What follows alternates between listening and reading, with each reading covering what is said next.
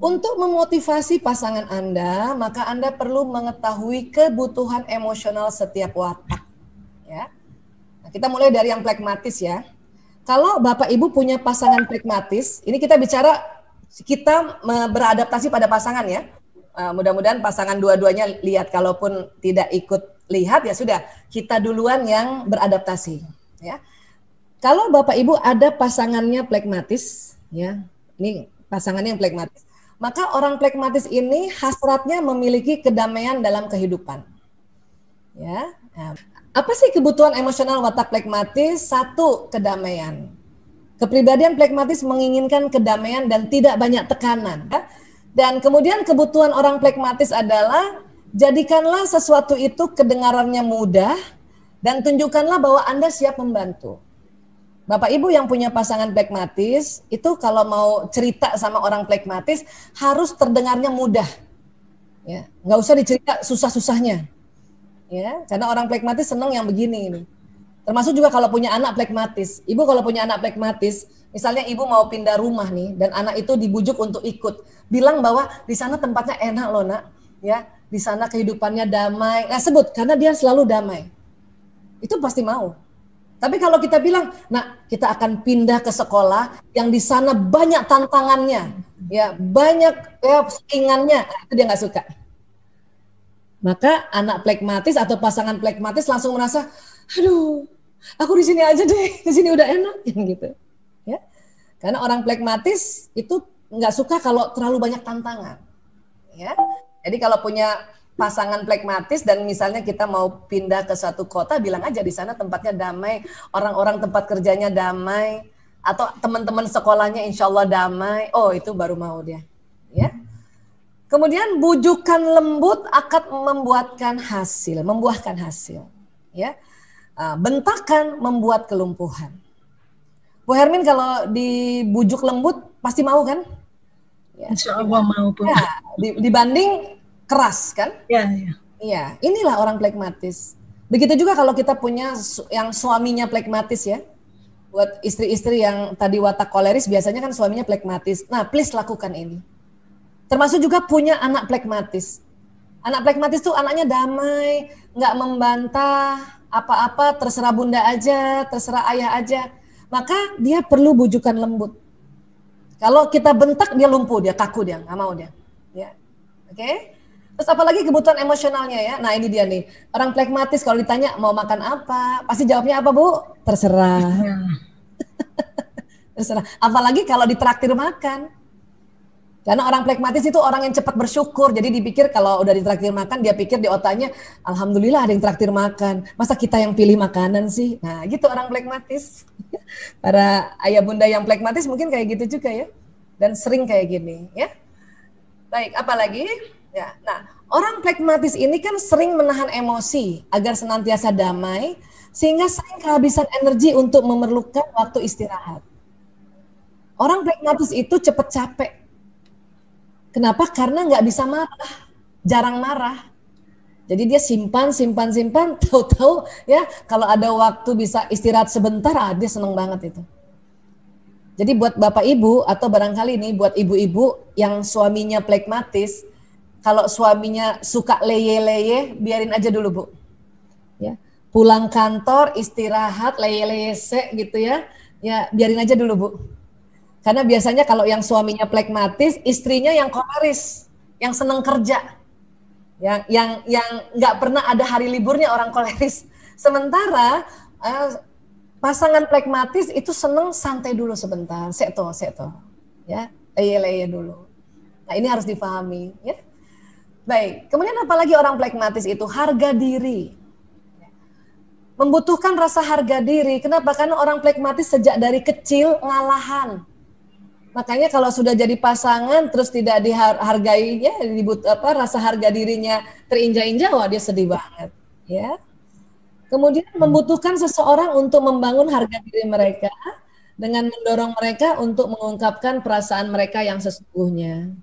Makanya tadi Bu kan bilang karena suaminya extrovert makanya suaminya yang ajak bicara duluan ya yang memberikan uh, dorongan duluan karena ini butuh sekali harga diri ya jadi kalau punya pasangan plekmatis, ya kita ini pasangannya ini kalau ada apa-apa tanya juga dia. Walaupun nanti dia bilang terserah. Walaupun dia bilang terserah tapi tetap tanya karena itu adalah ya menghargai rasa harga dirinya, ya. Baik, berikutnya orang pragmatis keberartian. Dia senang sekali yang berarti. Ya, dia membutuhkan keberartian dan diikut sertakan. Makanya ini selalu kita ajak kalau orang pragmatis, jangan dibiarkan. Kalau punya anak pragmatis juga ajak. Karena dia orangnya nggak nggak ngoyo kan. Makanya diajak, diajak. Ya. Dengarkannya pendapat mereka dan hindari menginterupsi atau menepis komentar mereka. Kenapa? Karena kalau orang plekmatis berkomentar itu sudah sesuatu yang dia amati dan pertimbangkan. Jadi kalau kita punya pasangan plekmatis, misalnya suami plekmatis nih, dan suatu ketika dia kasih saran, itu berarti udah udah udah benar-benar tuh dia sudah pertimbangkan bahwa saya harus kasih saran sama sama keluarga ini. Tolong tidak diabaikan, perhatikan itu, ya. Kemudian jadikanlah orang dengan watak ini merasa berharga dan bukan hanya sekedar perabotan. Karena dia orang damai, ngalahan. Kadang-kadang pasangannya menganggap ya nggak ada. Nah, ini yang paling sedih pada orang plekmatis yang pasangannya tidak mengabaikannya ya. Nah ini, oke. Okay? Baik, kemudian dalam pekerjaan, piawai dalam menangani perseteruan. Watak plekmatis ini ya memang cocok sebagai konsultan ya sebagai uh, notaris, pengacara, pokoknya ya uh, konselor, dokter, psikolog gitu, pengamat politik. Karena dia memang ciri khasnya pengamat. Ya. Dan kalau ada yang bertengkar, ah, dialah sebagai ya uh, orang yang piawai dalam menangani perseteruan, ya. Ini kalau di law firm law firm ini bagus orang pragmatis, ya. Kemudian mengatasi masalah secara objektif ya. Dia nggak kesusu-susu pokoknya setiap ada masalah dia akan tanya yang lain dia nggak bakal ambil keputusan sendiri ya. Dapat diandalkan untuk pekerjaan yang monoton.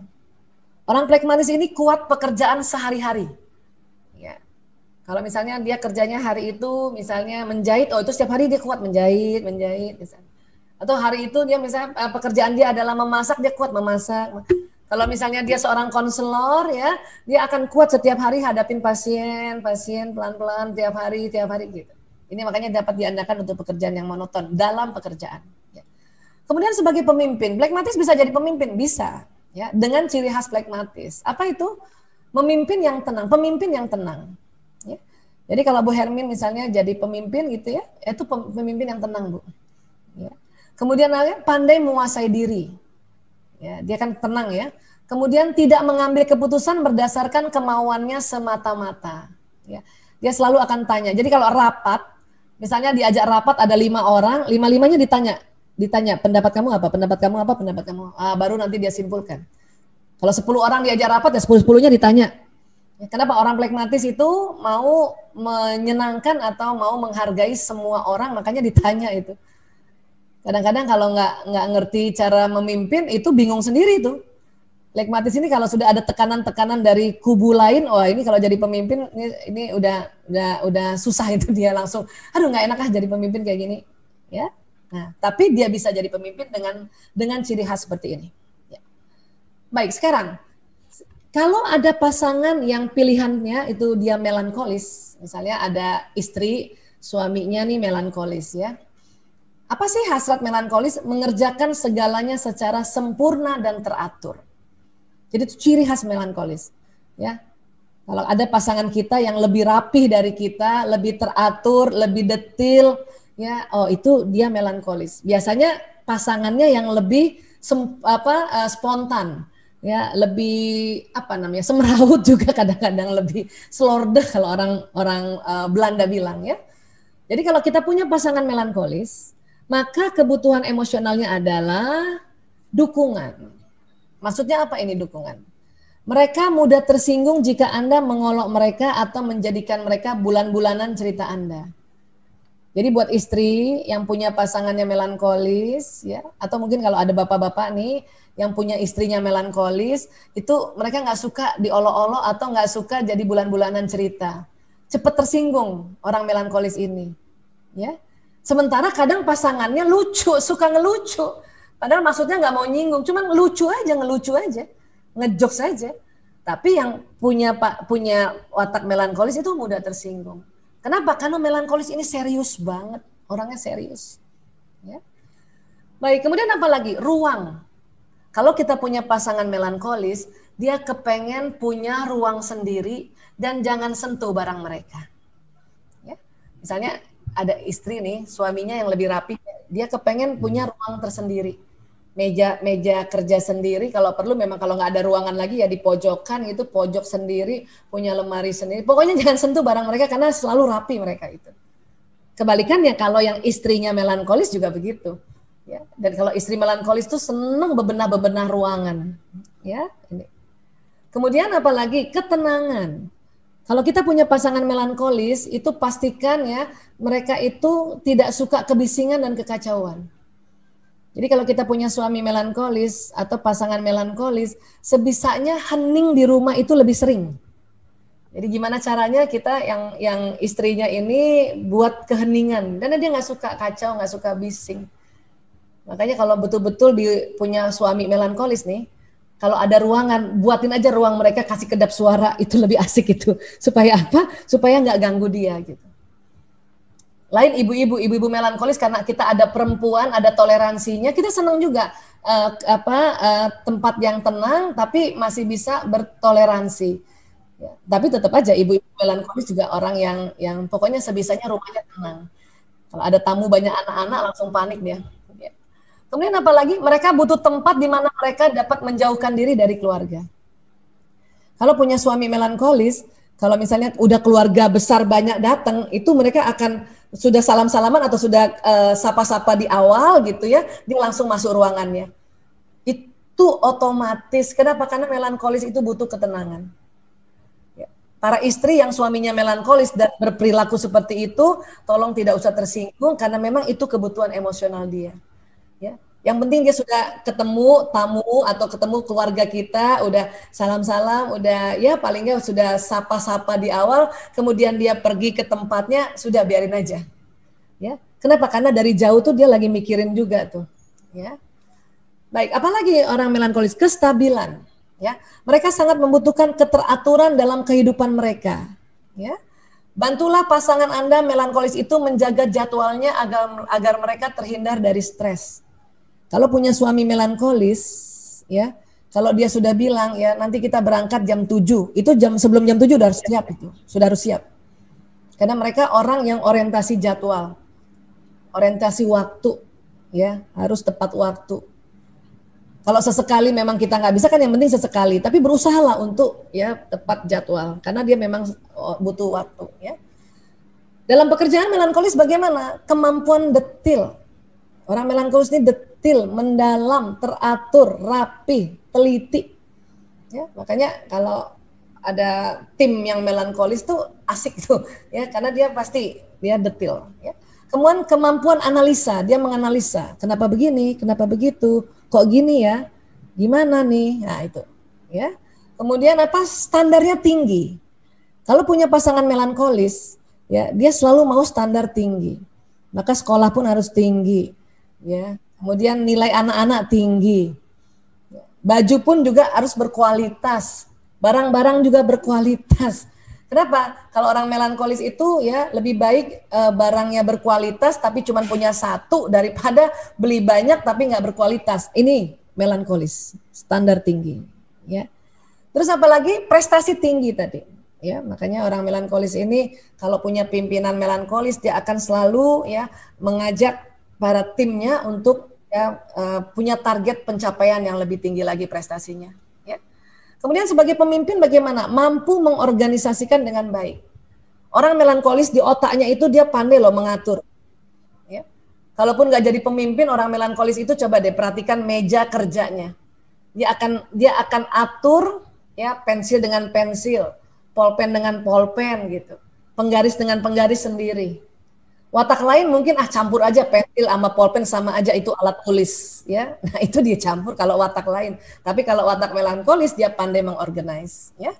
Kemudian apa lagi? Memiliki kreativitas yang mendalam. Jadi kalau uh, pemimpin melankolis, dia itu kalau kita mau presentasi pada pemimpin yang melankolis harus detil. Sampaikan detil, kemudian kenapa? Kenapa harus kita lakukan kegiatan ini? Itu pertanyaan sebagai pemimpin melankolis. Kenapa? Kenapa? Ya. Nah, kemudian menginginkan prestasi yang berkualitas karena dia selalu mau rapi, teratur, detil, telaten, ya. Cuman kadang-kadang karena terlalu dalam, terlalu spesifik, akhirnya lama persiapannya, ya. Tapi tentu kalau lama persiapannya, prestasinya, kualitasnya juga cukup bagus barangkali ya. Hanya itu tadi per ya kita bisa bantu dia untuk lebih cepat sedikit lah, lebih cepat sedikit ya untuk persiapan. Ya. Baik ya, peka terhadap perasaan orang lain. Orang melankolis itu walaupun dia nggak banyak ngomong karena pemikir, dia selalu perhatiin orang orang ini belum makan ya, orang ini kasihan nih, orang ini harus kita bantu. Itu walaupun dia nggak banyak ngomong tuh, dia mikir, dia mikir, dia pikirin orang-orang itu, ya. Saking uh, dipikirkannya jadi ya kadang-kadang dia nggak bisa tidur sebagai pemimpin melankolis ini susah tidur ini. Ya. Baik, kemudian kalau koleris, kalau kita punya pasangan koleris ya seperti Ibu Hermin nih, pasangannya tadi koleris ya Bu. Ya. Nah, koleris itu hasratnya memegang kendali atau mengatur dia senang ngatur nih. Jadi kebutuhan emosionalnya apa orang koleris ini? Penghargaan. Mereka senang apabila Anda menghargai segala yang telah mereka perbuat bagi Anda. Ya. Jadi Bu Hermin seandainya suami ya memberikan sesuatu atau melakukan sesuatu lah ya kepada kita, kita harus hargai. Saya juga suami saya koleris. Jadi kalau misalnya nih dia uh, ambilkan saya obat atau vitamin di apotik, itu itu dia senang banget kalau saya terima dengan senang hati. Ya, ayah terima kasih banyak ya Allah, ayah ambil aku vitamin, ambilin aku obat. Itu dia senang banget. Tapi ingat ya, laki-laki kan kadang-kadang mukanya nggak kayak perempuan ya. Walaupun dia senang, mukanya rata. Apalagi orang koleris ini. Ya, nah ini Oke, jadi kalau kita punya suami koleris, apa yang dia kerjakan buat kita, kita harus gembira. Karena dia selalu mau melayani kita ini orang koleris ini. Ya. Berikutnya, kalau watak koleris, tindakan. Ya.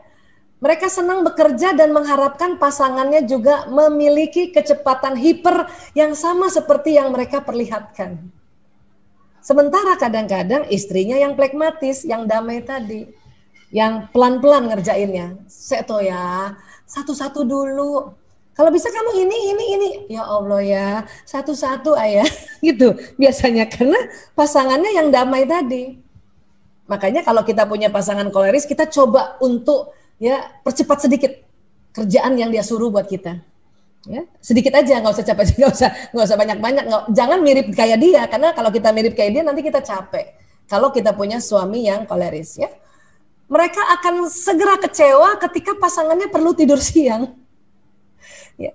Nah, biasanya suami yang koleris, istrinya kan plekmatis. Ya kayak saya nih, suami saya koleris, saya plekmatis, damai.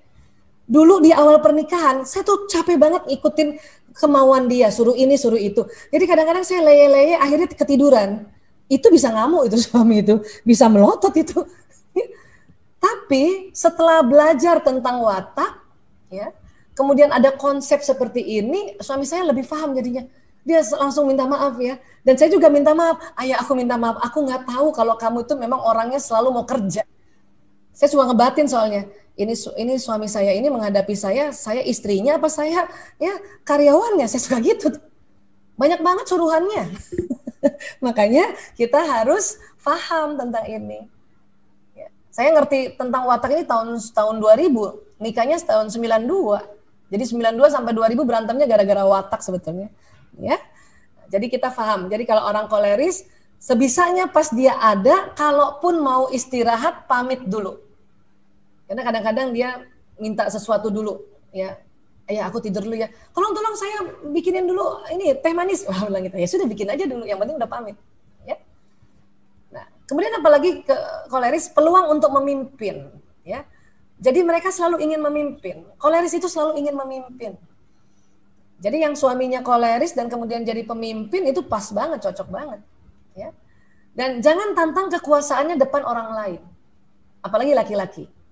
Semua laki-laki kalau dia sudah ngomong depan orang, baik depan anak, depan pim, depan uh, kawan-kawannya, depan keluarga, kalau dia sudah ngomong sesuatu, kita nggak boleh intervensi, nggak boleh tantang di depan orang lain. Kalau kita nggak setuju, baru kita ngomong berdua. Ya, nah ini, apalagi laki-laki koleris. Ya, kalau kita punya suami koleris, dia tegur anak kita, dia marah anak kita, ya terus kita bilang ayah gimana sih? Di depan anak. Wih itu ngamuk tuh. Dia akan kesel sama kita. Ya. saya juga dulu salah baru tahu nanti tahun-tahun 2000 makanya setiap dia ngomong di depan anak atau di depan keluarga atau di depan temennya itu sebisanya kita diam. Walaupun tidak setuju. Nanti saja kalau berdua baru kita kasih tahu. Nah itu dia mau itu. Ya dia mau. Pokoknya jangan tantang kekuasaannya depan orang lain. Ya Jangankan laki-laki, perempuan koleris saja suka begini nih. Makanya kalau mau tegur wanita koleris atau anak kita yang koleris cuman berdua aja. Ya. Baik, apalagi sesuatu untuk dikendalikan. Nah, ini orang koleris ini senang banget. Mereka membutuhkan sesuatu untuk mereka kendalikan dan sering kali mereka mulai dengan mengendalikan pasangan mereka. Jadi kadang-kadang kalau punya suami koleris kemudian working from home, wah sudah tuh ya saking nggak ada yang diatur, ya dia nggak di kantor, nggak ada timnya, ya sudah istrinya yang diatur, anaknya yang diatur. Saya punya suami koleris pas uh, working from home, terus dia bilang, oh saya nggak bisa working from home karena kita kan kerjanya tentang rumah sakit. Dalam hati saya, iya mas di luar aja nggak apa-apa. Bukan apa-apa. Kalau dia di rumah, waduh dia bisa bisa semuanya diatur tuh. Ya, dan berikanlah pekerjaan di mana mereka dapat memegang kendali agar mereka tidak merasa perlu mengendalikan pasangannya ya. Jadi kalau punya suami koleris kemudian dia banyak kerjaannya sampai mungkin usia pensiun dan kemudian kita sudah siapkan pekerjaan untuk dia kerjakan selanjutnya gitu ya. Pekerjaan pasca pensiun ah itu bagus banget buat buat watak koleris ya. Karena koleris selalu mau kerja. Dia stres kalau nggak kerja ya Kemudian dalam pekerjaan apa koleris? Dapat mencapai lebih banyak daripada siapa pun dan dalam waktu yang lebih singkat. Makanya kalau jadi pemimpin bagus banget orang koleris ini, ya. Kemudian berorientasi target. Apa tujuannya? Apa untungnya ini? Apa dia punya target ini ya kayak gitu, ya. Kemudian berkembang dalam kompetisi. Kalau ada orang koleris, ya, anak kita koleris kah atau pasangan kita koleris, dia kalau kalau dia banyak kompetisi gitu dalam bekerjaan, oh dia makin berkembang itu. Ya. Kompetitor-kompetitor malah dia lahap itu, ya. Kemudian sebagai pemimpin, cenderung kecenderungan untuk memimpin tinggi. Makanya kalau kita punya pasangan koleris itu pasti jadi pemimpin. Entah di level mana pasti dia jadi pemimpin. Anak-anak juga begitu. Kalau dia yang wataknya koleris ada aja dia yang pimpin itu biasanya baik di sekolah menjadi ketua kelas kah atau misalnya jadi ketua OSIS pokoknya dia yang mendominasi ya.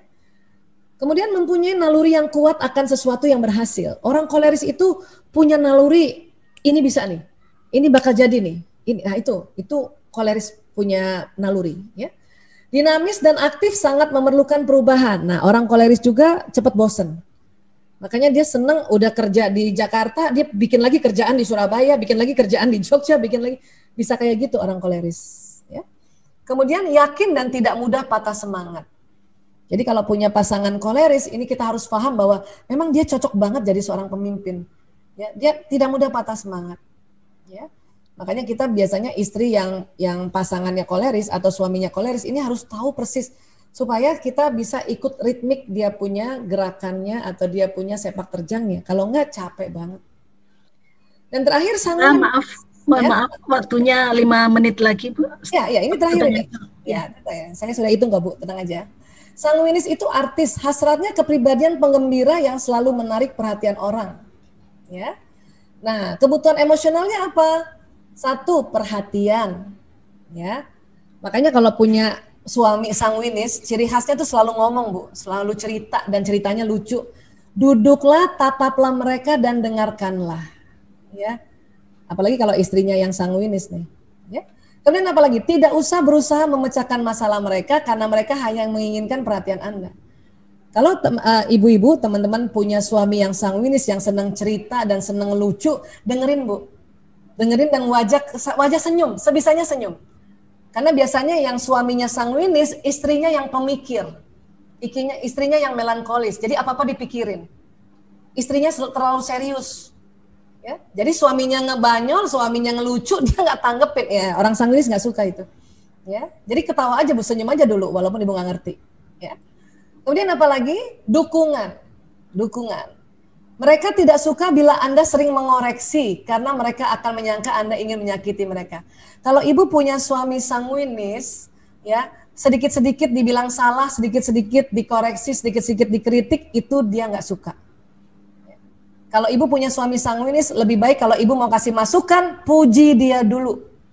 Ya, Misalnya dia pakai bawahnya garis-garis, atasnya kotak-kotak. Ibu mau bilang bahwa itu kombinasinya buruk, ibu puji dulu Iya, ayo, bajunya seru banget. Atasnya kotak-kotak, bawah garis-garis. Dia senang tuh. Oh, yang masa? Iya. Tapi lebih seru lagi, ayah, kalau di atasnya polos aja. Nah, begitu caranya. ya. Baik, kemudian berupayalah untuk mengucapkan terima kasih dan memuji mereka ketika mereka menyelesaikan pekerjaan dengan baik. Jadi sekali lagi, kalau punya suami sanguinis itu banyak dipuji. Ya, Bu Hermin kan suaminya sanguinis nih. Ya banyak dipuji bu. Supaya dia seneng. Karena ibu serius banget soalnya. Ya kemudian kasih sayang ya. Mereka memiliki daya tarik kekanak-kanakan sehingga selalu ingin mendapatkan kasih sayang berupa pujian dan kata-kata pendukung jadi puji aja nih bu dia orang sanguinis anak sanguinis suami sanguinis ini butuh pujian ya kegiatan nah ini Jangan abaikan permintaan pasangan Anda untuk keluar atau melewatkan waktu bersama teman-temannya. Ini yang kadang-kadang suka bertengkar antara suami yang sanguinis, istri melankolis. Karena istri melankolis kan senangnya suaminya dalam rumah. Sementara suami sanguinis senang keluar untuk ketemu teman-temannya. Nah, bikin aja jadwalnya, Bu. Jangan jangan juga terlalu di, dikekang sama sekali nggak boleh keluar. Itu yang nanti akan dia marah dan dia akan ya hati-hati dia tinggalkan kita itu. Udah kasih aja jadwal. Dan kalau perlu rencanakanlah acara-acara khusus bagi Anda berdua di luar rumah. Kalau perlu ibu ikut. Ya, supaya juga bisa sama-sama. Memang capek. Suami sanguinis, istri melankolis maunya di rumah. Karena kalau keluar rumah orang melankolis ini atau orang penulis skenario itu capek. Makanya kepengennya di rumah. Cuman suaminya senang keluar. Ya sudah ikutin aja. Ikutin aja. Ya. Atau sampaikan aja, ya sudah hari ini aku ikut, minggu depan aku nggak usah ya, aku di rumah ya, mau bebenah. Dan inilah orang sanguinis ini kalau dia kumpul-kumpul itu pasti paling seru ngomongnya ceritanya, paling seru dia punya interaksi ya, lucu soalnya. Dalam pekerjaan kreativitas warna-warni ya, kemudian penuh optimisme, kemudian berharga dalam hal mengembirakan orang lain, senang menghibur. Makanya banyak sekali pimpinan-pimpinan yang uh, sanguinis itu ya uh, senang bikin acara ya berbagai macam acara ya. Sebagai pemimpin membangkitkan semangat, makanya dia senang bikin acara, bikin gathering dan menginspirasi orang untuk bekerja, kemudian pandai membujuk dan menghibur orang, ya, dan senang membuat kegiatan yang kreatif dan senang mengajak orang yang banyak, ya. Jadi sekali lagi kalau punya suami sanguinis jangan heran kalau dia dikit-dikit ngajak orang-orang mau berlibur aja diajak orang lain, diajak temannya. Makanya kalau bisa, kalau punya suami sanguinis, bikin aja family gathering sama teman-teman kerjanya dan sama-sama keluarga. Ya, nah inilah uh, apa tentang pasangan ya. Kita harus memahami pasangan kalau mau mengabadikan hubungan. Mau nggak mau, kalau pilihan panitia adalah uh, judul yang itu, maka saya pilihkan teknik paling cepat paling tepat ya adalah mengenal watak masing-masing. Oke, tinggal karena tadi watak adalah masing-masing dua jenis ya sudah digabungkan saja tadi. Ya, kalau suami koleris sanguinis ya kita gabungkan tadi kebutuhan emosional koleris dan kebutuhan kebutuhan emosional sanguinis. Begitu juga sebaliknya. Ya.